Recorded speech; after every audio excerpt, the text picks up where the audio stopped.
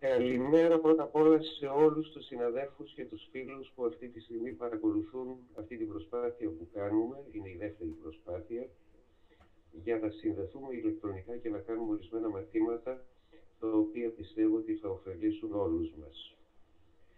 Ένα μεγάλο ευχαριστώ και σε εσάς όλους, οι οποίοι κάθεστε και παρακολουθείτε αυτή τη στιγμή το μάθημα που θα αρχίσει, αλλά και ένα ακόμη πιο μεγάλο ευχαριστώ στην εταιρεία GlaxoSmithKline Beecham και ειδικά στους ανθρώπους της που με τόσο μεράκι, με τόση διάθεση μας βοηθούν στο να πετύχουμε την σύγχρονη επαφή με τη γνώση με έναν πρωτοποριακό, θα έλεγα, για τα δεδομένα της ειδικότητάς μας τρόπο. Να δώσουμε το λόγο στο Ιπποκράτιο. Είμαστε όλοι αυτιά και έτοιμοι να το παρακολουθήσουμε και να κάνουμε και όσοι ερωτήσεις χρειαστούν. Καλή αυγή σε εσάς. Ευχαριστώ πολύ τον Γιώργο τον Κόρντζογλου για το καλωσόρισμα. Ξεκινούμε λοιπόν αμέσως με το μάθημα. Το μάθημα αφορά τον σχεδιασμό αντιμετώπισης ενός νοσήματος το οποίο είναι πολύ καθημερινό στην κλινική πράξη της ειδικότητάς μας. Θα μιλήσουμε δηλαδή για τον σχεδιασμό και τη θεραπευτική αντιμετώπιση στον καρκίνο του Λάρικα. Ο λόγος που επέλεξα αυτό το μάθημα είναι ότι όλοι γνωρίζετε λίγο πολύ ότι ασχολούμαι εδώ και πολλά χρόνια με την ογκολογία και τόσο στην παρουσία μου στην Πανεπιστημιακή Κλινική του ΑΧΕΠΑ στη Θεσσαλονίκη, όσο και στο καινούριο μετερίζει που δουλεύω τώρα, εξακολουθώ να ασχολούμαι και να έχω, πιστεύω, έναν ικανό βαθμό εμπειρίας ώστε να σας μεταφέρω πράγματα που όχι απλώς είναι βιβλιογραφικά, αλλά είναι βγαλμένα μέσα από την καθημερινή πράξη και την ενασχόληση με το αντικείμενο. Ήδη βλέπετε στην πρώτη εικόνα ότι υπάρχει ένας πολύ μεγάλος αριθμός ασθενών με καρκίνο του Λάριγα, 1343, που είναι οι ασθενείς στους οποίους μετήχα στην αντιμετώπιση τους έναντι 740 άλλων όγκων που αφορούν τις υπόλοιπες εντοπίσεις στην περιοχή κεφαλής και τραχείου. Βλέπετε λοιπόν ότι η συντριπτική πλειοψηφία των ασθενών, των ογκολογικών ασθενών που αντιμετωπίσαμε ήταν περιστατικά του καρκίνου του Λάριγα με δεύτερο στη συχνότητα του καρκίνου του Ρινοφάριγα και ακολουθούν ο Ρινοφάριγκα, ο στοματοφάριγγας, η μύτη, η παραλίνη κτλ. Αυτός είναι ο αριθμός των αρρώσεων σε μία περίοδο από το 1991 μέχρι σήμερα. Αντιμετωπίζοντας λοιπόν το καρκίνο του Λάριγκα, ξέρουμε όλοι ότι έχουμε διαφορετικές εντοπίσεις, είτε στις φωνητικές χορδές, είτε υπέργλωτιδικά, όπως στην περίπτωση αυτή, διαφορετικές επεκτάσεις, διαφορετικά στάδια της γνώσης. Το πρώτο που θα πρέπει να κάνουμε είναι να ξέρουμε και να χωρίσουμε τους αρρώστους σε αυτούς που έχουν γλωτιδικό, υπεργλωτιδικό ή υπογλωτιδικό όγκο. Δεν αρκεί όμως αυτός ο, ο χοντροειδής, θα έλεγα, χωρισμός. Για να μπορέσουμε να μιλήσουμε για ογκολογία θα πρέπει να ξέρουμε πάντα όλες τις υποπεριοχές ώστε να μπορέσουμε να σταδιοποιήσουμε σωστά το νεόπλασμα. Άρα λοιπόν στο θεραπευτικό μας σχεδιασμό το πρώτο που μας ενδιαφέρει είναι η εντόπιση του, του νεοπλάσματος.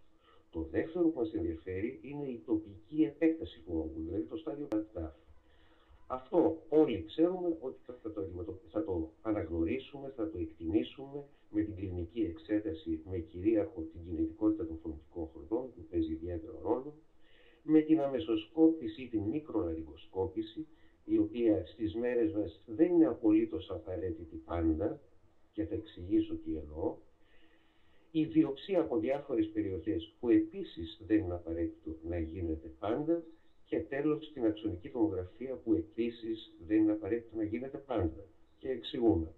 Η κλινική εξέταση είναι το πρώτο και βασικό. Σήμερα γίνεται με τα ενδοσκόπια που ξέρουμε όλοι, που μας βοηθούν ακόμη και στο πιο δύσκολο με αντανακλαστικά άρρωστα να μπορέσουμε να έχουμε μια πολύ καλή, καθαρή εικόνα του νεοπλάσματος και της εντόπισής του. Το δεύτερο είναι η αμεσοσκόπηση και η μικρολαρικοσκόπηση. Στις περισσότερες, στη συντριπτική πλειοψηφία των περιπτώσεων θα το κάνουμε. Υπάρχουν όμως και μερικές περιπτώσεις που υπάρχει αντένδειξη στο να κινήσουμε τον άρρωστο για να του βγάζουμε αμεσοσκόπηση και μπορούμε με τα ενδοσκόπια μας να μπούμε και να πάρουμε βιοψίες από την περιοχή που θέλουμε και να αποφύγουμε τη γενική νάρκωση στον ασθενή. Η βιοψία από διάφορες περιοχές έχει κυρίως το νόημα στις περιπτώσεις που θέλουμε να κάνουμε τμηματικές επεμβάσεις. Εκεί είναι χρήσιμο να ξέρουμε τα όρια του όγκου για να αποφύγουμε το να κόψουμε τον όγκο και να μην περάσουμε σε υγιείς ιστούς ώστε να διασφαλίσουμε τα υγιή μας όρια στην εκτομή μας. Όσο αφορά στην αξονική τομογραφία, είναι σχεδόν ρουτίνα, το κάνουμε σχεδόν σε όλους τους αρρώστους, με μικρές μόνο εξαιρέσεις. Ένας ταφ ένα όγκος, ο οποίος είναι γλωτιδικός, ο οποίος δεν πιάνει την πρόσθετη εντολή, θα μπορούσαμε να τον αντιμετωπίσουμε χωρίς να υποβάλουμε τον ασθενή σε αξονική τομογραφία. Η αξία της αξονικής τομογραφίας φαίνεται σε αυτή την εικόνα που βλέπουμε εδώ, όπου τις πληροφορίες από τη διήθηση του χώρου, από την επέκταση στον απειοειδή κόλπο, θα μας τη δώσει μόνο η αξονική τομογραφία και όχι η κλινική εξέταση ή η αμεσοσκόπηση. Και ο λάριδας του ίδιου αρρώστου μετά την αφαίρεση μας δείχνει ακριβώς πόσο μπορεί, μπορεί να μας ξεγελάσει η εικόνα του αρρώστου και βλέπουμε εδώ ότι ενδολαριγκικά υπάρχει μια ομαλή προβολή χωρίς να φαίνεται το όγκος, όπως επίσης και η είσοδος του απειοειδούς έχει απλώς ένα είδημα, αλλά ο όγκος είναι κρυμμένος όλος πίσω από φυσιολογικό βλενογόνο. Σε αυτές τις περιπτώσεις και η αξονική τομογραφία και η αμεσοσκόπηση θα μας βοηθήσει για να πάρουμε τον όγκο. Ναι. Έτσι βλέπετε το φυσιολογικό πλενογόνο γέρο-γέρο.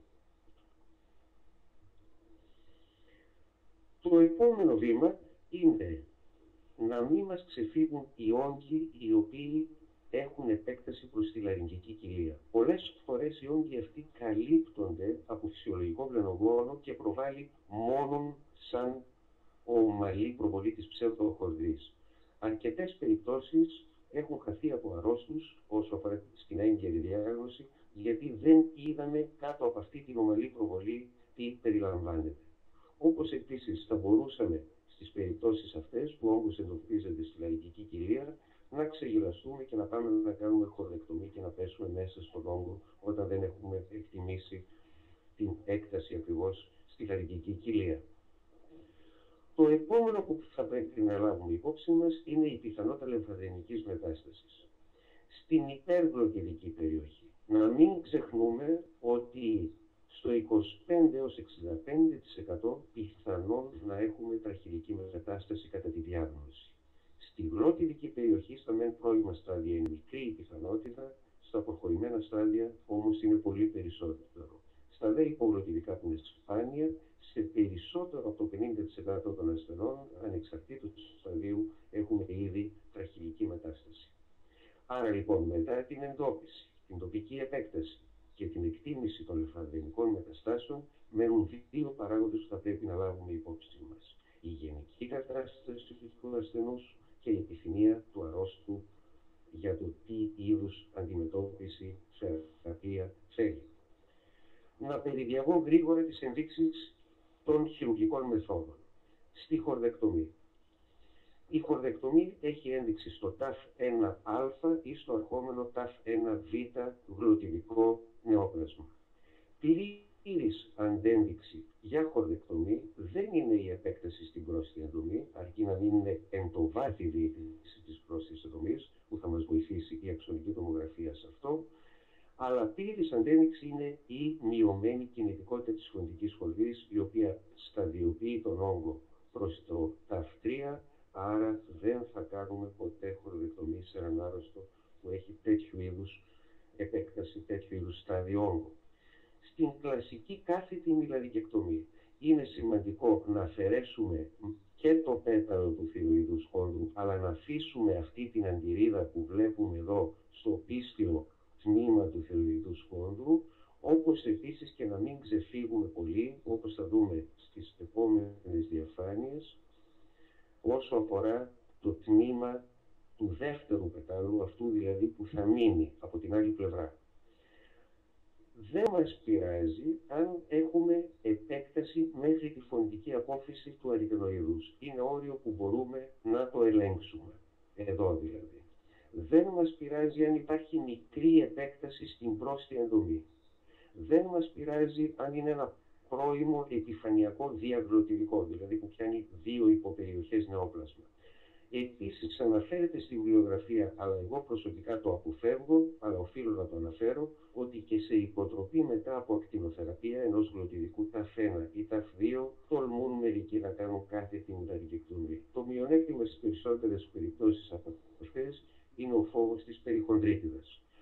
Όσον αφορά στη μέτωποπλάγια ή μιλαρικεκτομή, θα πρέπει να θυμόμαστε ότι δικαιούμαστε να αφαιρέσουμε ένα μικρό κομμάτι της άλλης φωνητικής χορδής, όχι όμως μεγάλο κομμάτι του άλλου πετάλου του θηροειδούς χόνδρου, γιατί θα στενέψει πάρα πολύ ο απλός του λάρικα και θα έχουμε πρόβλημα αναπνοής και θα πρέπει να μείνει με μόνιμη τραχιοτομή ο άρρωστος. Στις αντιδείξεις της κάθε συγκλαρικεκτομής είναι φυσικά η επέκταση στο μέσα ριζανοειδές, εδώ δηλαδή σε αυτό το στάδιο, η εκτεταμένη επέκταση στην ψευδοχορδή και η πέραν του ενός εκατοστού υπογλωτιδική επέκταση. Στον γλωτιδικό καρκίνο προχωρημένου σταδίου, δηλαδή στον ΤΑΦ3 όγκο, ολική λαρυγγεκτομή ή πρώτη ένδειξη, σε ελάχιστες περιπτώσεις εξοφυτικού νεοπλάσματος χωρίς μεγάλες εντοβάθει επεκτάσεις ή κάθετη ημιλαρυγγεκτομή και η σχεδόν ολική καταπίρσον, την οποία προσωπικά δεν συστήνω γιατί αφήνει μόνιμη τραχιοδομή στους ασθενείς, άρα κακή ποιότητα ζωής. Στους ακόμη πιο προχωρημένους γλωτιδικούς όγκους, δηλαδή στα TAF4, αν δεν είναι TAF4α που μπορούμε να τα χειρουργήσουμε, θα κάνουμε ολική λαρικεκτομή με ή χωρίς μερική φαρικεκτομή και ακτινοθεραπεία στη συνέχεια. Στους TAF4β φυσικά που έχουμε επεκτάσεις στον πρόσωπο χώρο ή στην καροτίδα είναι ανεγχείρητα και θα αποχωρήσουμε σε χημio ακτινοθεραπεία. Στα υπεργλωτιδικά νεοπλάσματα βλέπετε το όριο των φωνητικών χορδών που πολλές φορές, αν και ο όγκος είναι πολύ μεγάλος, έχει την τάση να μην επεκταθεί. Βλέπετε εδώ ένα τεράστιο υπεργλωτιδικό όγκο και πόσο ανθίσταται η γλωτιδική περιοχή στις περισσότερες περιπτώσεις να διηθηθεί από το νεόπλασμα. Οι θεραπευτικές επιλογές η επιγλωτιδεκτομή, η κλασική οριζόντια ημιλαρικεκτομή, οι εκτεταμένες οριζόντιες και φυσικά στα πιο προχωρημένα στάδια η ολική λαρικεκτομή. Στις ενδείξεις επιγλωτιδεκτομής είναι κλασικά οι περιπτώσεις υπερ-ιοειδικής εντόπισης του νεοπλάσματος και στάδιο ΤΑΦ1 στην κλασική οριζόντια υπεργλωτιδική ημιλαρικεκτομή. Μπορούμε να τη χρησιμοποιήσουμε σε στάδια ΤΑΦ1, ΤΑΦ2 και σε επιλεγμένα ΤΑΦ3. Πλήρης αντένδειξη οριζόντιας είναι η επέκταση στην πρόσθετη εντομή ή προς τη λαρυγγική κοιλία, οπότε δεν θα έχουμε ασφαλή όρια στην εκτομή μας. Στις αντενδείξεις να σημειώσω ήδη, το είπα, την επέκταση προς τη γλωτιδική περιοχή, την προσβολή των αιτενοειδών, το, μικρό, το, μικρό, το όριο όγκου μικρότερο από 5 χιλιοστά στην πρόσθετη εντομή, η προσβολή του παραγλωτιδικού χώρου, το TAF4, δηλαδή η διήθηση του θηροειδούς χόνδρου, η επέκταση ή εκτεταμένη στον απειλή κόλπο εκτός του έσω κόμματος και η προσβολή φυσικά της γλωσσικής επιφάνειας της επιλωτίδας ή της βάσης της γλώσσας. Να θυμόμαστε αυτό που είπα για τις τραχυικές μεταστάσεις, ότι σε πολλές περιπτώσεις έχουμε υποκλινικές λεφαδενικές μεταστάσεις στον υπεργλωτιδικό καρκίνο. Άρα στην αντιμετώπιση θα πρέπει στον ίδιο χρόνο να αντιμετωπίζουμε χειρουργικά και τον τράχυλο, μαζί με την πρωτοπαθή αιστεία. Και να θυμόμαστε ότι στα στάδια τα 1, τα 2 και σε ορισμένα τα 3 υπεργλωτιδικά, αν κάνουμε και τραχυλική αντιμετώπιση και το στάδιο είναι νη 0 ή νη 1, δεν θα χρειαστεί συμπληρωματική θεραπεία και θα μείνουμε μόνο στη χειρουργική. Η ολική επιβίωση του γλωτιδικού καρκίνου, ανεξαρτήτως σταδίου, είναι κατά μέσο όρο γύρω στο 60 με 70%. Στα πρώιμα στάδια φτάνει το 90%. Οι θεραπευτικές δυνατότητες είναι φυσικά η ακτινοθεραπεία, είναι οι τμηματικές εκτομές με εξωτερική προσπέλαση και οι ενδοσκοπικές εκτομές είτε με συμβατικά εργαλεία είτε με λέιζερ που είναι της μόδας τα τελευταία χρόνια. Μία βασική οδηγία για την αντιμετώπιση υπεργλωτιδικών όγκων είναι ότι στα πρώτα στάδια, στο 1 και στο 2 δηλαδή, θα πρέπει να χρησιμοποιούμε μία θεραπευτική μέθοδο. Μία, όχι και τις δύο. Είτε τη χειρουργική, είτε την ακτινοθεραπεία. Στα πιο προχωρημένα στάδια μπορούμε να κάνουμε είτε χημειοακτινοθεραπεία, είτε χειρουργική θεραπεία και συμπληρωματικά ακτινοθεραπεία. Και να θυμόμαστε αυτό που ήδη τόνισα, ότι η τραχυλική εξκαφή σε στάδιο μεγαλύτερο του 2 είναι συνήθως απαραίτητη. Σας παρουσιάζω τώρα την τελευταία οδηγία, κατευθυντήρια οδηγία της American Society of Clinical Oncology όσο αφορά τον τρόπο αντιμετώπισης των γλωτιδικών και υπεργλωτιδικών νεοπλασμάτων με βάση το στάδιο. Προσέξτε λίγο τις διαφορές σε σχέση με το τι ξέραμε. Στο τράφ γλωτιδικό, ενδοσκοπική αφαίρεση ή ακτινοθεραπεία η πρώτη επιλογή. Εναλλακτικά χορδεκτομή με θηρεοτομία. Στο στάδιο 2 του γλωτιδικού καρκινώματος διακρίνουμε τα επιφανειακά και τα πιο προχωρημένα. Στα επιφανειακά δικαιούμαστε να κάνουμε σαν πρώτη επιλογή την ανοιχτή προσπέλαση, την ευρεία δηλαδή χορδεκτομή ή κάθετη μιλαργεκτομή ή ακτινοθεραπεία. Εναλλακτικά και σε επιλεγμένες περιπτώσεις θα κάνουμε την ενδοσκοπική αφαίρεση.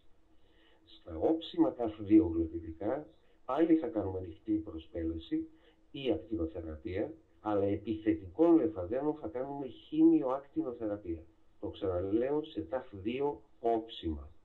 Εναλλακτικά και σε επιλεγμένες περιπτώσεις ενδοσκοπική αφαίρεση.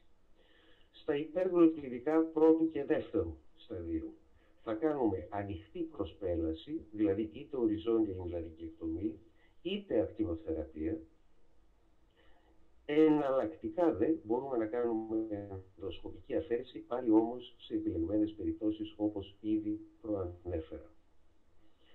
Στα πιο προχωρημένα ταφλίου υπεργλωτιδικά, πάλι ανοιχτή προσπέλαση η πρώτη επιλογή ή χήμιο ακτινοθεραπεία στις περιπτώσεις που έχουμε θετικούς λεμφαδένες στον τράχυλο. Εναλλακτικά θα κάνουμε ακτινοθεραπεία ή ενδοσκοπική αφαίρεση στις περιπτώσεις που μπορούμε να εξασφαλίσουμε υγιή όρια. Στο ΤΑΦ3 και ΤΑΦ4, είτε γλωτιδικό είτε υπεργλωτιδικό, οφείλουμε στον άρρωστο να προτείνουμε είτε ακτινοχήμιο θεραπεία, είτε χειρουργική θεραπεία, η οποία φυσικά είναι ολική λαργεκτομία. Τα όρια τώρα της χειρουργικής αντιμετώπισης. Πολλές φορές έχουμε να απαντήσουμε όταν έχουμε να αντιμετωπίσουμε έναν άρρωστο το ερώτημα πότε πρέπει και πότε όχι να προτείνουμε τη χειρουργική θεραπεία. Θα πρέπει δηλαδή να έχουμε καταλήξει στο γιατί δεν μπορεί να εφαρμοστεί η χειρουργική θεραπεία, γιατί δεν πρέπει να είναι η θεραπεία πρώτης επιλογής και να ξέρουμε φυσικά πολύ καλά τα όρια και τις ενδείξεις της κάθε χειρουργικής μεθόδου που θα προτείνουμε. Δηλαδή, γιατί δεν μπορεί να εφαρμοστεί η χειρουργική θεραπεία; Ο ένας λόγος μπορεί να είναι όταν είναι αδύνατη η αφαίρεση όλου του όγκου. Ο δεύτερος λόγος είναι όταν διηθούν όργανα που η συναφαίρεσή τους θα οδηγήσει σε μείζονες αναπηρίες ή σε κίνδυνο της ζωής του αρρώστου. Και το τρίτο είναι όταν το προσδόκιμο επιβίωσης είναι πολύ μικρό γιατί δεν πρέπει να εφαρμοστεί η χειρουργική θεραπεία ακόμη και όταν μπορεί. Όταν άλλες χειρουργικές, όταν άλλες θεραπείες, όταν άλλες θεραπευτικές δυνατότητες έχουν καλύτερο ποσοστό ελέγχου της νόσου, όταν έχουν το ίδιο ποσοστό ελέγχου της νόσου αλλά προσφέρουν καλύτερη ζωή οι άλλες θεραπείες από τη χειρουργική και όταν δεν τη θέλει ο ίδιος ο ασθενής φυσικά. Άρα λοιπόν πρέπει να έχουμε κριτήρια επιλογής να ξέρουμε την αποτελεσματικότητα της κάθε, της κάθε θεραπείας, να ξέρουμε τα προβλήματα και τις παρενέργειές της. Στις βασικές αρχές, κατά την προσωπική μου άποψη, αντιμετώπισης ογκολογικών ασθενών, πρέπει να ξέρουμε τρία πράγματα. Ότι η πρώτη θεραπεία που θα προτείνουμε στον άρρωστο πρέπει να είναι αυτή η οποία θεωρείται ότι επιμηκύνει το προσδόκιμο της επιβίωσής του. Όταν δύο ή περισσότερες θεραπείες έχουν το ίδιο προσδόκιμο, τότε θα πρέπει να λαμβάνουμε υπόψη μας τον παράγοντα ποιότητας ζωής. Και το τρίτο και πολύ βασικό που ξέρω ότι οι περισσότεροι δεν το κάνουμε πολλές φορές είναι το να παρουσιάσουμε με αναλυτικό και ανεπηρέαστο τρόπο τα υπέρ και τα κατά της κάθε θεραπευτικής επιλογής στον άρρωστο και ο ασθενής να επιλέξει με βάση τα δικά του θέλω, τις δικές του αξίες και προτεραιότητες το είδος της θεραπείας που θα ακολουθήσουμε. Πολλές φορές επίσης λέμε σε έναν άρρωστο δεν πειράζει, θα, θα κάνεις χειρουργική θεραπεία, θα σε στείλουμε για άκτινο χημειοθεραπεία και αυτό δεν έχει τίποτα χειρουργικό. Έχουμε όμως εκτιμήσεις τον χώρο αναπνοής. Μπορεί να χρειαστεί τραχιοτομή. Η δυσφαγία που θα προκύψει μπορεί να χρειαστεί γαστροστομία. Όλα αυτά είναι χειρουργικές παρεμβάσεις στον άρρωστο. Πρέπει να τον ενημερώσουμε. Πρέπει να τον ενημερώσουμε για όλα τα συνεπακόλουθα που έχει, τις παράπλευρες απώλειες της χημειοακτινοθεραπείας. Πρέπει λοιπόν να τα ξέρει αυτά ο άρρωστος όταν θα επιλέξει τη μία ή την άλλη θεραπεία.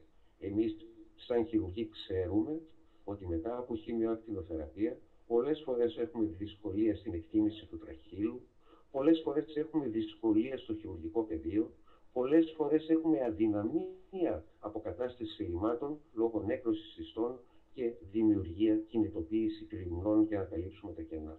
Και τέλος, σε μερικές περιπτώσεις, ακόμα και ρήξη καροτίδας. Να μην ξεχνούμε ότι μπορεί να παραμείνει είδημα μετά από ακτινοθεραπεία στο λάρικα και όταν αυτό το είδημα μείνει για αρκετό χρόνο να θυμόμαστε ότι τουλάχιστον, τουλάχιστον στους μισθούς από αυτούς τους αρρώστους αυτό το είδημα σημαίνει πολυματικό όγκο. Το δεύτερο που πρέπει να θυμόμαστε είναι ότι μπορεί να έχουμε ραδιονέκρωση η οποία είναι πολύ επίπονη και δύσκολη στην αντιμετώπιση κατάσταση σε απότερο χρόνο. Και τέλος ότι σε μερικές περιπτώσεις έχει τύχει να γίνει λαργεκτομή χωρίς τελικά να υπάρχει υπολοιματικός όγκος, γιατί ο άρρωστος έχει έναν τελείως ανενεργό και προβληματικό λάριγκα. Πολύ βασικό όταν θα επιλέξουμε τη θεραπευτική επιλογή στον άρρωστο. Να θυμόμαστε ένα δόγμα στην, στην ογκολογική αντιμετώπιση ότι η πρώτη θεραπεία που εφαρμόζουμε πρέπει να είναι η καλύτερη δυνατή. Γιατί έχει αποδειχθεί ότι αν έχουμε υποτροπή μετά την πρώτη θεραπεία και ειδικά τους πρώτους 9 μήνες, θα φτάσουμε να έχουμε πολύ χαμηλότερο προσδόκιμο επιβίωσης στον άρρωστο. Άρα λοιπόν πρέπει να προτείνουμε την καλύτερη θεραπεία, αλλά από την άλλη μεριά να μην κάνουμε αυτό που λέμε over-treatment, να μην εξαντλούμε δηλαδή τα θεραπευτικά μας όπλα για να αισθανόμαστε εμείς ασφαλείς. Έχουμε αποδείξει με μια εργασία μας από την περίοδο που ήμουν στο ΕΧΕΠΑ ότι όταν η ολική λαργεκτομή είναι πρώτη θεραπεία, σε σχέση με την ολική λαργεκτομή που κάνουμε για υποτροπή, μετά από τμηματική δηλαδή εκτομή ή μετά από ακτινοθεραπεία ή χημειοακτινοθεραπεία, οδηγεί για δέστε η πρώτη σε ποσοστό υποτροπής 27%, η δεύτερη σε 44%, δηλαδή σχεδόν σε διπλάσιο. Και αυτό ανεξαρτήτως από το είδος της προηγηθήσης πρώτης θεραπείας, αν δηλαδή ήταν τμηματική εκτομή ή ακτινοθεραπεία. Να κλείσω αυτό το κομμάτι λέγοντας ότι στις τμηματικές αφαιρέσεις του Λάρικα θα πρέπει να θυμόμαστε ότι οι επεμβάσεις γίνονται για το καλό του αρρώστου και όχι για το καλό του γιατρού. Δηλαδή το να κάνουμε μια τμηματική επέμβαση και να αφήσουμε πολύ κακή ποιότητα ζωής στον άρρωστο δεν ωφελεί τον άρρωστο, αλλά μόνο τον γιατρό ο οποίος θα πει ότι έκανε την τμηματική αφαίρεση. Συν το χρόνο, τα όρια του ανεγχείρητου αλλάζουν. Παλιότερα λέγαμε αν ο χόντρος είναι διηθυμένος ή τα τυχώματα του φάριγγα ή ο ισοφάγους ή κτλ. ότι δεν μπορεί να χειρουργηθεί. Στην κεφαλή και τον τράχυλο όμως, περιστατικά όπως αυτά που κάποτε τα θεωρούσαμε ίσως ανεγχείρητα, είναι χειρουργήσιμα και πάνε μάλιστα και πολύ καλά αν χρησιμοποιήσουμε τις κατάλληλες χειρουργικές μεθόδους. Σας δείχνω μερικά παραδείγματα τέτοιων ασθενών οι οποίοι μετά από τέτοιους όγκους αντιμετωπίστηκαν εδώ είναι το χειρουργικό πεδίο μετά την αφαίρεση αυτού του όγκου που είδατε προηγουμένως, η τελική του εικόνα. Εδώ βλέπετε ένα νεόπλασμα τεράστιο της παροτίδας εξοφυτικό, ένα κακό ηθισιστιοκύτωμα σε νεαρή άρρωστη, αφαιρέθηκε ολόκληρο, με κρινούς καλύφθηκε το κενό, η κοπέλα είναι τρία χρόνια μετά υγιέστατη χωρίς κανένα λειτουργικό πρόβλημα μετά από τις επεμβάσεις αυτές.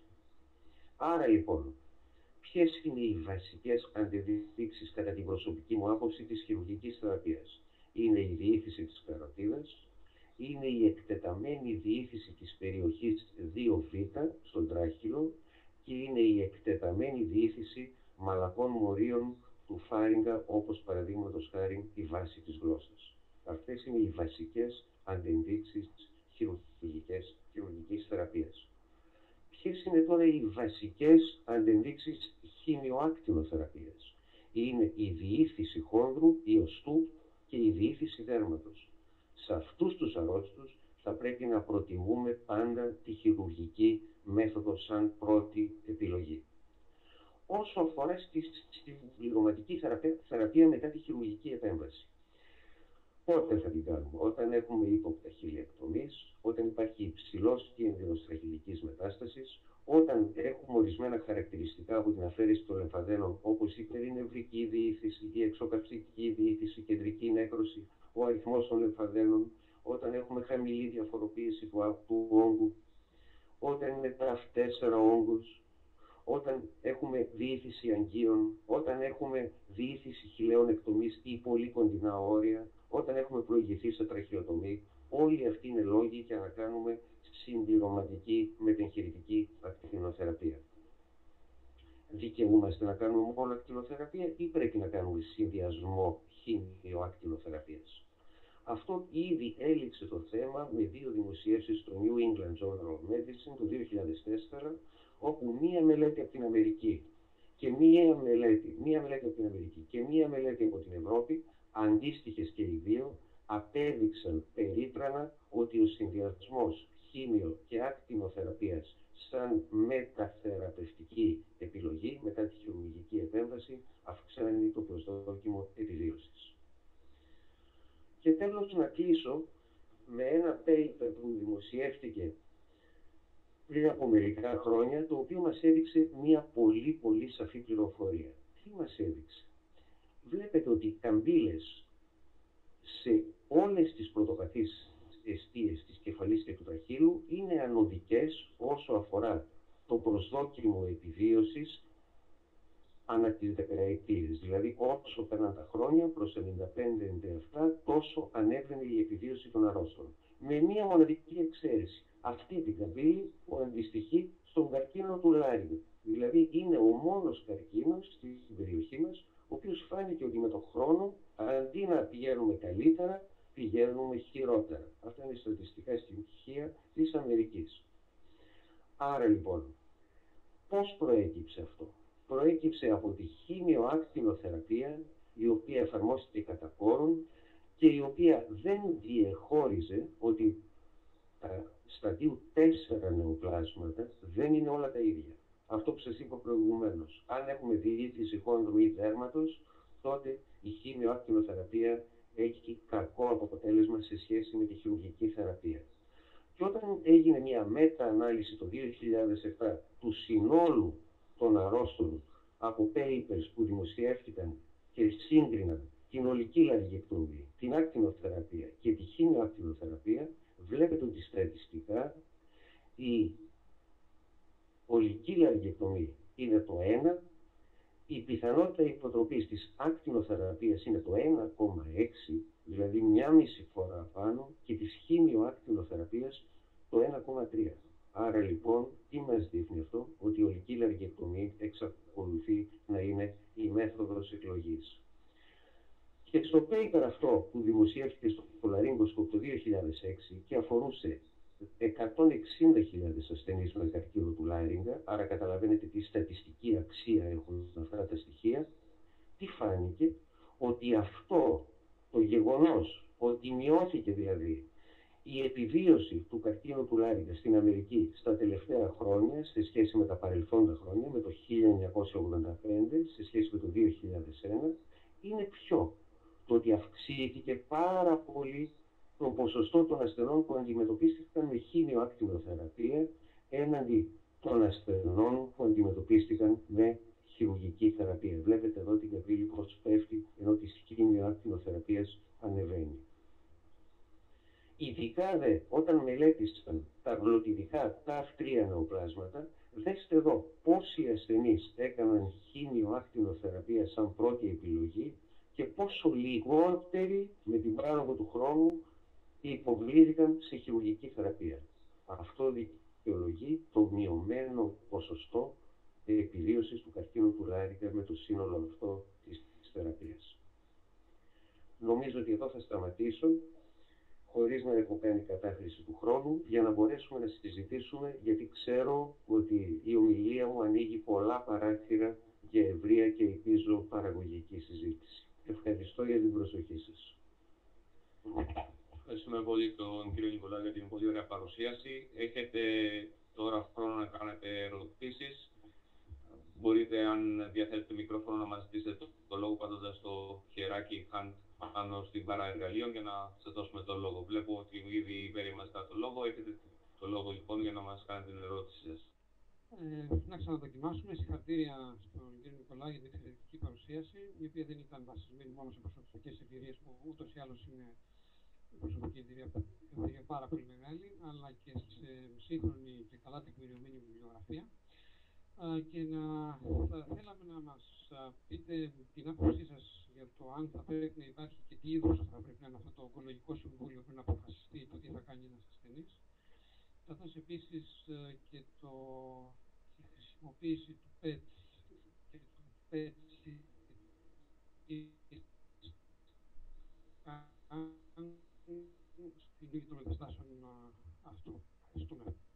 ε, ευχαριστώ πολύ Διονύση για, τη, για το σχόλιο που έκανες και για τις ερωτήσεις επίσης που έκανες, οι οποίες είναι πολύ επίκαιρες. Η μία ερώτηση είναι κατά πόσο θα πρέπει να χρησιμοποιούμε το PET scan.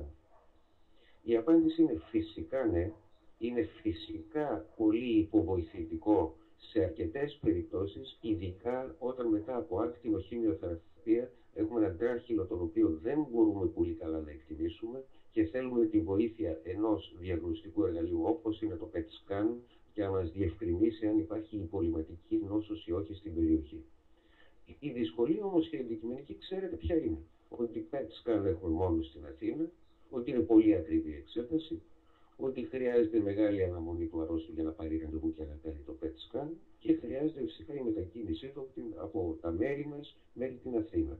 Άρα θα πρέπει με ιδιαίτερη επιλεκτικότητα να εξαντλούμε εμείς τις κλινικές μας και απεικονιστικές μεθόδους που έχουμε στα χέρια μας για να φτάσουμε στις περιπτώσεις που θα πρέπει να στείλουμε στην Αθήνα για PET scan. Μακάρι στο μέλλον αλλά μέσα στη συγκυρία αυτή τη δύσκολη την οικονομική, να αποκτήσουμε PET scan σε όλες τις περιοχές μας, σε όλα τα νοσοκομεία μας και να μας λυθεί αυτό το πρόβλημα. Το δεύτερο είναι όσο αφορά την αξία του Ογκολογικού Συμβουλίου. Νομίζω ότι χωρίς να το έχω αναφέρει, έγινε καταφανές ότι δεν θα πρέπει να είμαστε οι μονοκράτορες εμείς οι χειρουργοί όσο αφορά τις θεραπευτικές επιλογές των καρκίνων του Λάριγκα. Αυτό τι σημαίνει, ότι θα πρέπει όχι απλώς να σεβόμαστε και να ζητούμε τη γνώση των συγγενών ειδικοτήτων που αντιμετωπίζουν τους ογκολογικούς ασθενείς, δηλαδή κυρίως τους ακτινοθεραπευτές και τους χημειοθεραπευτές, αλλά θα πρέπει να τους συμβουλευόμαστε και μάλιστα σε επίπεδο συμβουλίου. Αυτό βοηθά και τις θεραπευτικές επιλογές του αρρώστου, αλλά βοηθά και εμάς γιατί ανταλλάσσουμε πληροφορίες και ο καθένας χωρίς εγωισμό τοποθετεί τα υπέρ και τα κατά της θέσης του για την κάθε θεραπευτική επιλογή. Είναι πολύ λάθος το να νιώθουμε ότι εμείς επειδή έχουμε τον άρρωστο, εμείς που βάλαμε τη διάγνωση, θα τον αντιμετωπίσουμε εμείς μόνο χειρουργικά, χωρίς ούτε καν να προτείνουμε στον άρρωστο ότι υπάρχει και εναλλακτική θεραπεία. Είναι μεγάλο λάθος. Μπορεί να μας οδηγήσει στο δικαστήριο μια τέτοια στρατηγική. Άρα λοιπόν πρέπει να επενδύσουμε στο ότι θα έχουμε τη σύμφωνη γνώμη, θα έχουμε τη συζήτηση με τις άλλες ειδικότητες και θα το κάνουμε σε κάθε δυνατή περίπτωση και μακάρι να οργανωθούν ογκολογικά συμβούλια σε όλα τα επιμέρους νοσοκομεία της χώρας μας. Ευχαριστούμε πολύ τον κύριο Νικολά για την απάντηση. Να συνεχίσουμε με το υποκράτιο νοσοκομείο Θεσσαλονίκης. Έχετε το λόγο. Ναι, Άγγελε, θα ήθελα να σε, εκ μέρους όλων να σε ευχαριστήσουμε για το πολύ εκπαιδευτικό μάθημα που έκανες. Ε, να σε ευχαριστήσουμε για αυτές τις, ε, τα, για αυτά τα guidelines που έδωσες, τα οποία ήταν, τα οποία τα θεωρώ έτσι, έτσι όπως τα άκουσα και έτσι όπως τα διάβαζα, σαν α, αξιώματα στην ογκολογία του Λάργα και εύχομαι να τα ακολουθούμε όλοι μας. Ε, προσωπικά θα ήθελα να κάνω δύο, ε, δύο ερωτήσεις και υπάρχουν και από τα, τα παιδιά εδώ κάποιες άλλες. Η μία είναι να συνεχίσω λίγο το, την ομιλία σχετικά με, το, με τη μονάδα την ογκολογική. Όπως γνωρίζεις, η ογκολογική μονάδα στη Θεσσαλονίκη έχει μόνο το Θεαγένιο. Εμείς λοιπόν, ακόμη και το Παπαγεωργίου, ε, έχει μόνο κτηνοθεραπευτικό. Το ΑΧΕΠΑ έχει τώρα άρχισε να έχει και το κτηνοθεραπευτικό. Εμείς δεν έχουμε τίποτε, εσείς δεν έχετε τίποτε. Τι γίνεται λοιπόν, τι πρέπει να κάνουμε εμείς; Πώς, πώς μπορούμε ας πούμε, να, να βρισκόμαστε σε μια τέτοια ε, φάση κατά την οποία τον ογκολογικό άρρωστο που είναι να αντιμετωπίσουμε, να τον αντιμετωπίσουμε αφού πρώτα γίνει ε, συγκριθεί ας πούμε αυτή η μονάδα ή και, ή και αν συνεχίσει να γίνεται κάτι από εσάς ή από εμάς. Θα πρέπει να πάει υποχρεωτικά στο Θεαγένιο, θα το στείλουμε απευθείας στο Παπαγεωργείο να κάνει εκνοβολία. Το ένα ερώτημα είναι αυτό. Το δεύτερο είναι όσον αφορά το λέιζερ. Θα ήθελα να σε ρωτήσω την προσωπική σου άποψη ε, που έχει να κάνει μα, με την ε, χρήση του λέιζερ σε, σε TAF 3 και σε TAF 4. Εάν αν, ε, αυτή η χρήση του λέιζερ μπορεί ας πούμε με ασφάλεια, γιατί το τελευταίο αυτό ακούμε, ιδίως από την Αθήνα, τα χρειάσια κτλ. Εάν ε, η χρήση του λέιζερ ε, φτάνει και είναι αρκετή για να αντιμετωπίσει το πρόβλημα. Σας ευχαριστώ. Γιώργο, ευχαριστώ πολύ για τα σχόλια, τα πολύ επίκαιρα που έκανες και μου δίνεις την ευκαιρία να απαντήσω έτσι, με το δικό μου τρόπο και στα δύο όπως είπες. Στο πρώτο, όσο αφορά το Ογκολογικό Συμβούλιο. Ε, δεν το έχουμε απολύτως οργανωμένο ούτε εμείς στο Ογκολογικό Συμβούλιο, αλλά είμαστε στα σπάργανα και έχουμε κάνει τις εξής δύο προσπάθειες. Η μία είναι ότι δυστυχώς τηλεφωνικά σε ορισμένες περιπτώσεις συζητούμε τα περιστατικά και με τους χημιοθεραπευτές και με τους ακτινοθεραπευτές. Αρχίσαμε να κάνουμε ένα ογκολογικό συμβούλιο στο Παπα-Νικολάου με τη βοήθεια ενός ακτινοθεραπευτού, ο οποίος έρχεται από το Παπαγεωργίου μία φορά την εβδομάδα και σε συνδυασμό με την ογκολογική κλινική που υπάρχει στο Παπα-Νικολάου κάνουμε ένα πρώτο μικρό meeting όσο αφορά ορισμένα περιστατικά. Άρα λοιπόν είμαστε στη φάση της οργάνωσης αυτών των περιστατικών με αυτή τη μεθοδολογία. Το δεύτερο είναι για το θέμα των λέιζερ. Ξέρετε όλοι ότι τον τελευταίο καιρό έχουμε βομβαρδιστεί, ειδικά από δύο κλινικές της Αθήνας, με την αίσθηση ότι βρέθηκε το απόλυτο όπλο της αντιμετώπισης του καρκίνου του Λάρικα που είναι το λέιζερ. Αυτός ο μύθος θα πρέπει κάποια στιγμή να μας κάνει σκεφτικούς. Όταν ρωτήσει κανείς τους συναδέλφους αυτούς που πρεσβεύουν αυτές τις θεραπείες, δηλαδή τη θεραπεία με λέιζερ, σε προχωρημένα στάδια, θα ακούσετε από τις ερωτήσεις που γίνονται στα συνέδρια ότι η απάντηση είναι πια ότι χρησιμοποιούμε το λέιζερ και στη συνέχεια ο άρρωστος κάνει και χήμιο ακτινοθεραπεία. Αυτό δεν είναι αντιμετώπιση ογκολογικού ασθενούς. Τόνισα στις ομιλίες μου ότι όταν μπορούμε θα κάνουμε μόνο θεραπεία. Η χρήση των λέιζερ είναι χειρουργική θεραπεία. Δεν είναι τίποτα παρά ένα όπλο έναντι της συμβατικής χειρουργικής. Τα λέιζερ τα χρησιμοποιώ και εγώ επί πολλά χρόνια, αλλά με πολύ συγκεκριμένες ενδείξεις. Ποιες ενδείξεις; Πρώιμος όγκος και πολύ καλά ορατά τα όρια του. Μόνο τότε. Αλλιώς, η χρήση των λέιζερ σε πολλές περιπτώσεις δεν είναι τίποτα περισσότερο από μια ευρία βιοψία. Εντάξει, και μια κοροϊδία του αρρώστου της εχειρούργησε με λέιζερ, ενώ η ουσιαστική θεραπεία που κάνει είναι η χημιοάκτημα θεραπεία. Αυτή είναι η απάντησή μου. Πολύ ωραία πρόεδρε, να δώσουμε το λόγο και στο νοσοκομείο Παπα-Νικολάου. Ναι, γεια σας κύριε Νικολάου, από Παπα-Νικολάου. Ευχαριστούμε πάρα πολύ για την ωραία παρουσίαση. Μία ερώτηση θέλω να κάνω κι εγώ. Ποια είναι η άποψή σας όσον αφορά τον εκλειπτικό λεμφαδενικό καθαρισμό κατά τη διάρκεια της ολικής λαδικεκτομής σε κλινικά αρνητικό τράχυλο, κυρίως σε υπερπλουτητικά αλλά και σε υπερπλουτητικά καρκινόματα.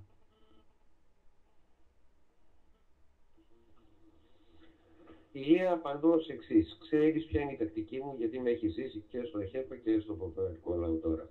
Η τακτική είναι η εξής. Σε υπεργλωτιζικά νεοπλάσματα, όταν κάνουμε ολική λαγεκτομή, κάνουμε παράλληλα και εκλεκτικό λεμφαδενικό καθαρισμό. Σύστηχα και αφού ανοίξουμε τη σφαγίτιδα, το τράχυλο δηλαδή μέχρι το επίπεδο της σφαγίτιδας στην άλλη πλευρά, ψηλαφούμε και βλέπουμε. Αν υπάρχει υπόνοια και στην άλλη πλευρά, θα κάνουμε εκλεκτικό και στην άλλη πλευρά. Για τον υπεργλωτιδικό καρκίνο μιλάω.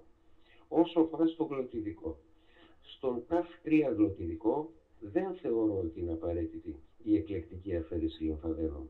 Στο ΤΑΦ 4 όμως, ναι, θα πρέπει να κάνουμε δηλαδή σύστοιχα με την πρωτοπαθητή αιστεία και εκλεκτικό λεμφαδενικό καθαρισμό.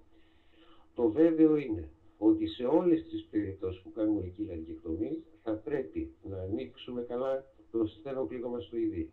Να ανοίξουμε τη σφαγίτιδα, την έσω σφαγίτιδα μέχρι πάνω για να ελέγξουμε με σιγουριά αν υπάρχουν υποκλινικοί λαμφαδένες.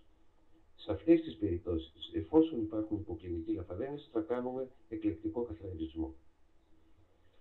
Έχετε το λόγο πάλι στον Παπα-Νικολάου, αν θέλετε άλλη κάποια άλλη ερώτηση.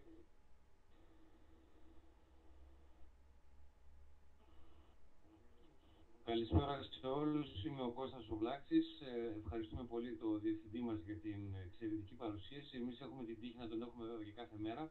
Μία ερώτηση έχω να κάνω. Είπατε σε ένα σημείο ότι όταν υπάρχει διήθηση του χόντρου δεν υπάρχει ένδειξη ακτινοθεραπείας. Μήπως πολλές φορές παρασυρώμενοι από ένα μικρό κλινικά, όπως φαίνεται δηλαδή, νεόπλασμα στην πρόσθετη έντομη, που μπορεί να είναι ταφ 1β, παρασυρώμαστε και στέλνουμε τον άρρωστο για ακτινοθεραπεία χωρίς να έχουμε ελέγξει τη διήθηση του χόνδρου. Ευχαριστώ. Το σχόλιο, Κώστα, ευχαριστώ για την ερώτηση. Το σχόλιο είναι το εξής.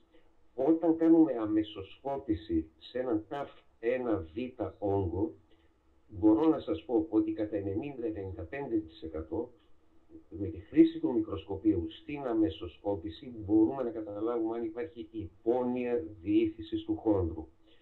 Συμπληρωματικά σε αυτή την κλινική πληροφορία που θα πάρουμε θα έχουμε και την αξονική τομογραφία η οποία θα μας δείξει την πιθανή διήθηση. Επομένως, αν είναι ένα επιφανειακό νεόπλασμα θα το αντιμετωπίσουμε τοπικά όπως είπα και με, και με χορδεκτομή και με κάθε την μπορούμε κάλλιστα να το αφαιρέσουμε. Αν όμως υπάρχει διήθηση χόνδρου, τότε εννοείται ότι λόγω της μετάβασης από το στάδιο 1 στο 4 κατευθείαν θα πρέπει να κάνουμε ολική λαρικεκτομή. Αυτό είναι το κυριότερο. Γιατί; Η χημειοακτινοθεραπεία έχει πολύ μειωμένο ποσοστό επιτυχίας όταν υπάρχει διήθηση χόνδρου. Είναι βασικό κριτήριο αυτό. Γι' αυτό το τονίζω. Ξέρω ότι σε πολλές κλινικές, όταν λέμε στάδιο 4, και εννοούμε διήθηση χόνδρου, κατευθείαν στέλνουμε τον άρρωστο για χήμιο άκτινο. Όχι, τον καταδικάζουμε σε αυτή την περίπτωση. Θα τον αντιμετωπίσουμε χειρουργικά και πρέπει να τον πείσουμε ότι πρέπει να αντιμετωπιστεί χειρουργικά. Αυτή είναι η καλύτερη, η πρώτη επιλογή στο ΤΑΦ 4 με διήθηση χόνδρου ή οστού ή του ιοειδούς δηλαδή, αν φτάνει ο όγκος μέχρι εκεί. Ευχαριστούμε πολύ για τις ερωτήσεις από τον Πανικολά. Να δώσουμε πάλι το λόγο στο Ιπποκράτιο. Εντής θέλει να κάνει κάποια ερώτηση;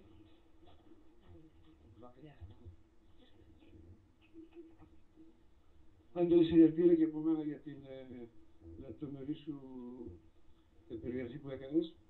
Ε, ήθελα να ε, συζητήσω μαζί σου μία παράμετρο του καρκίνου του λάγκους, την οποία συνήθως ε, ε, αποφεύγουμε να συζητήσουμε. Ε, είναι η περίπτωση της, ε, της μετάστασης του όγκου του λάγκους στους παρατραγιακούς λεφαδένες. Είναι μια εξέλιξη κακή για τον ασθενή, η οποία όπως ε, ε, συνήθως ξέρουμε είναι ε, η κατάληξη του, του αρρώστου. Ε, ήθελα να σα ρωτήσω αν λαμβάνεις υπόψη σου κάποιες, ε, κάποιους ειδικούς παράγοντες οι οποίοι επηρεάζουν την εξέλιξη, την κακή εξέλιξη αυτή ε, του όγκου του λάρκος, ε, ε, ώστε να μπορείς να προβλέψεις μια τέτοια ε, εξέλιξη. Γιατί τυχαίνει πολλές φορές ε, να έχουμε χειρουργήσει, να έχουμε κάνει μια ολική αδικτομή και μετά από κάποιους μήνες ε, να έχουμε την, ε, τη διάγνωση αυτή της ε, μετάστασης δηλαδή του όγκου τους λάρκος στους ε, παρατραχιακούς λεφαδέρες. Ευχαριστώ. Νίκο, ουσιαστικά μιλάς για την υποτροφή στο τραχιόστομα. Αυτή δηλαδή είναι συνήθως η κατάληξη αυτή που λες, δηλαδή ότι έχουμε μετάσταση είτε κατά συνέχεια ιστού από την πρωτοπαθή αιστεία, αν έχει μείνει υπολοιματικός όγκος στην μία περίπτωση, είτε διήθηση των προτραχιακών λεμφαδένων, οι οποίοι στη συνέχεια επεκτείνονται εξωκαψικά και διηθούν και την τραχεία και τον ισοφάγο πολλές φορές και φυσικά αυτή η άρρωστη στις περισσότερες περιπτώσεις ήταν εγχείρητη. Μία μερίδα αυτών των αρρώστων μπορεί να προβλεφθεί με, ποιο, με, ποια στοιχεία.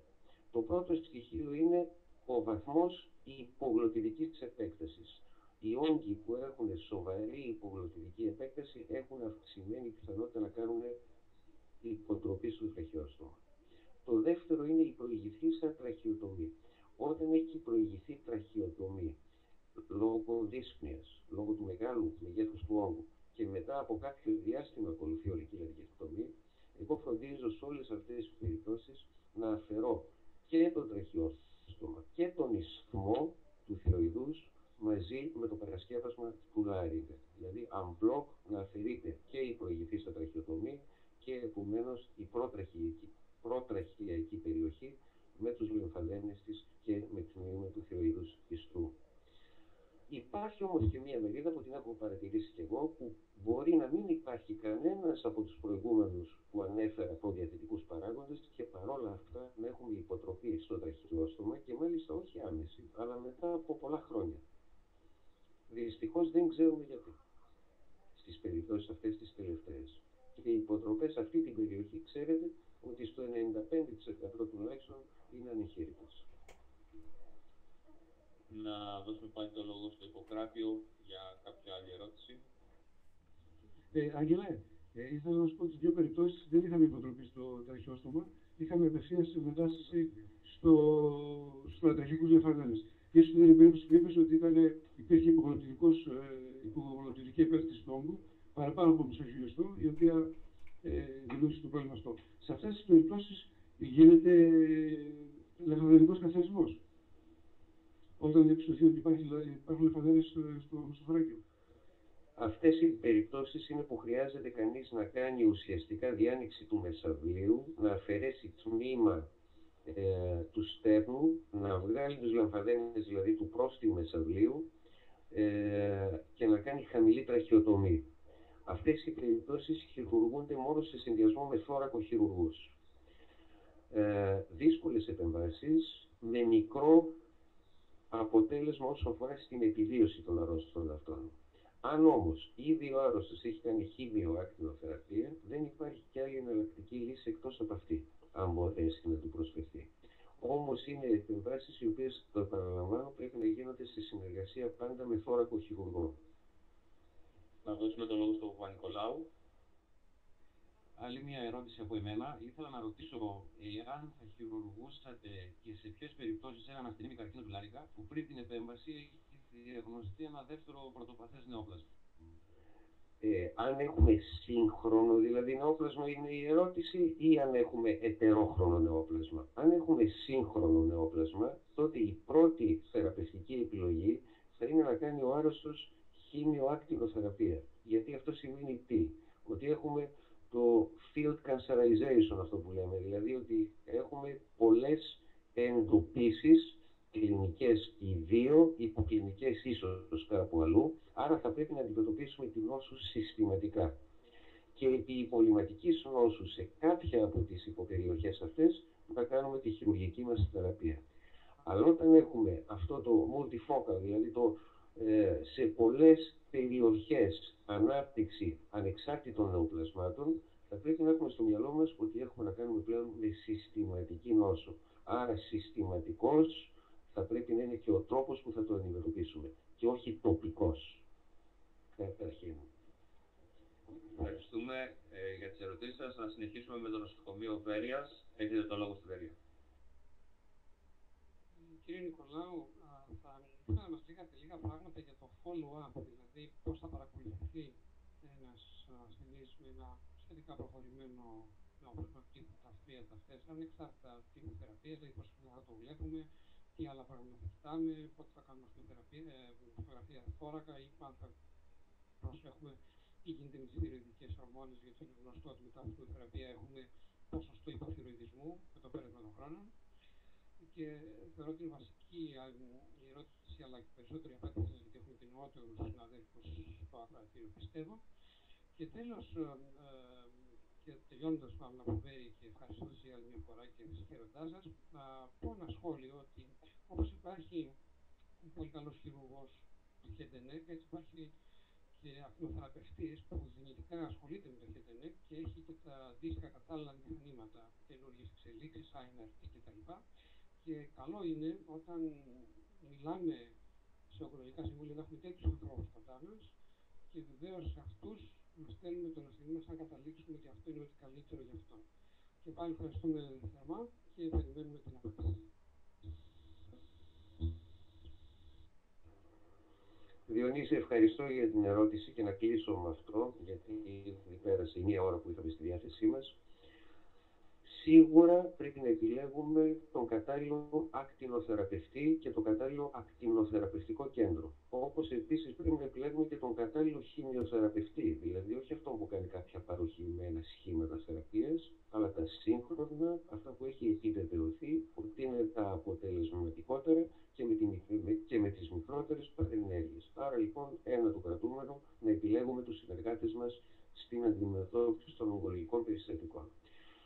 Στο πρώτο ερώτημα που έκανες, δηλαδή πόσο συχνά πρέπει να παρακολουθούμε και με ποιο τρόπο τους αρρώστους, η απάντηση είναι η εξής απλή. Προσέξτε, δεν νοείται να κάνεις ογκολογική ιατρική αν δεν έχεις αρχείο. Είναι το πρώτο και βασικό. Ξέρετε ότι αν δεν έχεις τα στοιχεία, τα πλήρη ενός ογκολογικού αρρώστου, έτοιμα να τα ανακαλέσεις κάθε φορά που θα κάνεις το follow-up στον αρρώστο, του αρρώστου, είναι σαν να μην κάνεις ογκολογία. Ξέρετε ότι αν ξεφύγεις από τα 4, 5, 10, 20, 30 περιστατικά, είναι αδύνατο να θυμάστε στο follow-up των ασθενών τι θεραπεία είχε κάνει, τι εντόπιση όγκου είχε, πότε χειρουργήθηκε, αν έκανε συντροματική θεραπεία ή οτιδήποτε άλλο. Άρα λοιπόν το πρώτο και βασικό είναι η καταγραφή. Ξέρετε ότι εδώ και χρόνια έχω οργανώσει μηχανογραφικά το ογκολογικό αρχείο των ασθενών μου και αυτό με έχει βοηθήσει υπερβολικά, όχι τόσο στο να έχω απλώς follow-up, αλλά να μπορώ να αξιολογώ και τα αποτελέσματά μου. Μόνο με αυτόν τον τρόπο μπορώ να κάνω στατιστική αξιόπιστη, έχοντας καταγραμμένες όλες τις πληροφορίες των αρρώστων. Άρα το πρώτο και βασικό είναι αυτό. Το δεύτερο, όσο αφορά στο πρωτόκολλο παρακολούθησης, εννοείται ότι στην αρχή τους αρρώστου του βλέπουμε σε πιο κοντινά διαστήματα, αναδίμηνο, τον πρώτο χρόνο, στη συνέχεια το αραιώνουμε αυτό το διάστημα και πέραν της πενταετίας τους βλέπουμε μία φορά στο εξάμεινο. Κάθε εξάμεινο κάνουμε ακτινογραφία θώρακο. Για την αξιονική τομογραφία δεν υπάρχει συγκεκριμένο πρωτόκολλο κάθε πότε, διότι εξαρτάται από το στάδιο όγκου. Δηλαδή, σε μια χορδεκτομία σε ένα ταφ ένα όγκο, δεν θα κάνω κάθε χρόνο αξιονική τομογραφία, θα κάνω κλινική εξέταση, ενδοσκόπηση. Σε έναν όμως προχωρημένο θα κάνω κάθε χρόνο αξονική τομογραφία για να δω τον τράχυλο μήπως έχω κάποια υποτοπή δηλαδή στην περιοχή εκεί. Σε αυτό το σημείο θα ήθελα να ευχαριστήσω όλους για την προσοχή τους και κυρίως για τη συμμετοχή τους, η οποία δείχνει ότι πραγματικά υπάρχει ενδιαφέρον έντονο από όλες τις κλινικές για να αντιμετωπίσουμε με τον καλύτερο δυνατό τρόπο και να μοιράσουμε την εμπειρία μεταξύ μας και να κερδίσουμε όλοι από αυτό. Να ευχαριστήσω ακόμη μια φορά τους ανθρώπους της Glaxo, οι οποίοι τόσο πολύ μας βοήθησαν να έχουν μια τόσο συμμετοχική εκπαιδευτική διαδικασία. Ευχαριστώ σε όλους. Ευχαριστούμε καλό απόγευμα από τη Θεσσαλονίκη σε όλους σας.